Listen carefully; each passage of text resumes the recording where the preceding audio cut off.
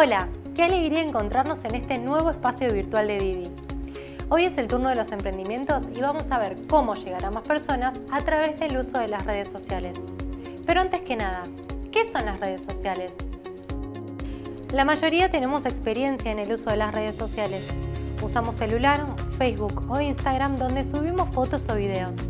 En concreto, las redes sociales son herramientas tecnológicas que se usan para conectar a la gente.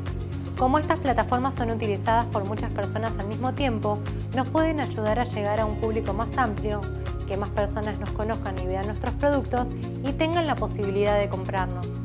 Las herramientas están para usarlas. Un problema muy común en los emprendimientos es confundir la presencia en las redes sociales con su actividad y mantenimiento. Por ejemplo, muchas personas nos dicen, yo me voy a un Facebook y no pasa nada. Pero si ese Facebook no le ponemos contenido y no lo movemos para generar más ventas, es como quedarse parado en el medio de la vereda esperando a que lleguen los clientes. ¿De qué manera podemos activar nuestras redes sociales para generar más vínculos con nuestros clientes actuales y potenciales? La primera recomendación es que puedas separar las redes del emprendimiento de las redes personales. Si ya estamos usando redes sociales, para generar más ventas, lo mejor sería crear redes nuevas y así trabajar con un público más específico.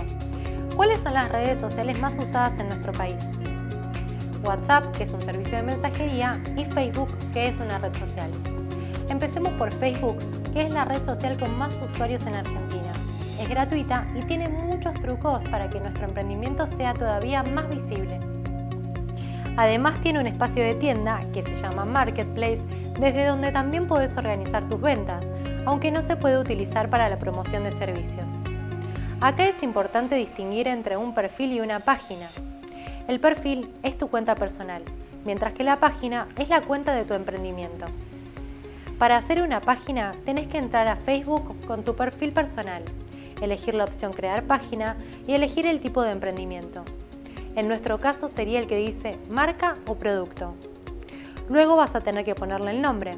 Ese nombre tiene que aportar información sobre lo que haces. Después hay que subir algunas fotos y escribir una breve descripción de lo que ofreces.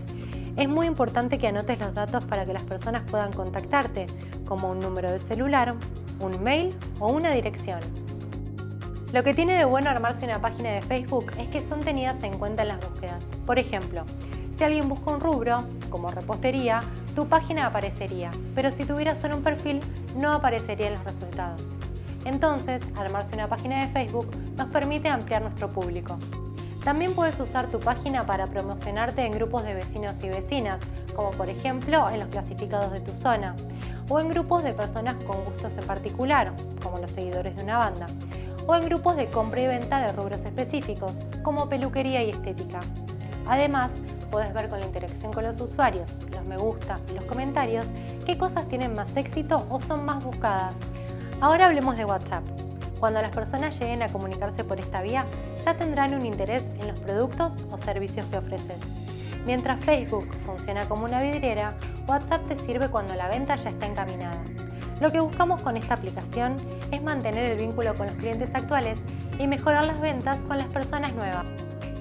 Una estrategia muy útil es armar listas de difusión para mandar el mismo mensaje a muchas personas.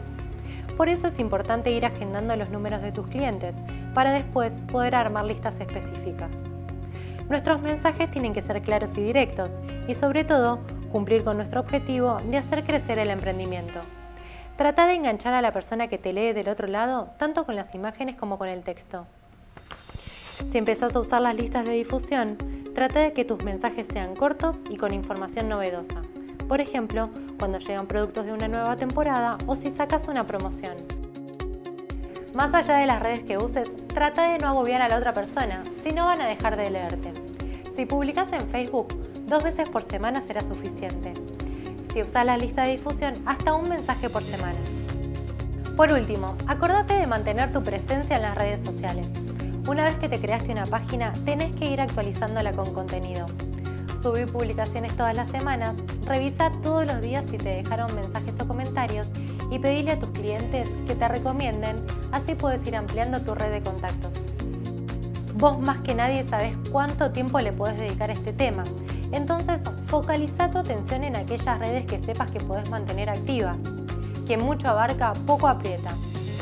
Ahora que ya vimos cómo utilizar las redes sociales para llegar a más personas, te invitamos a ver más de nuestros videos para seguir mejorando nuestros emprendimientos.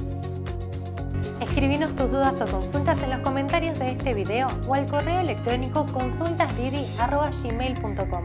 Así podemos seguir acompañándote en este proceso. Si sos parte de Semillas, no dudes en consultar a tu asesora. La virtualidad nos acerca. Seguimos en las redes.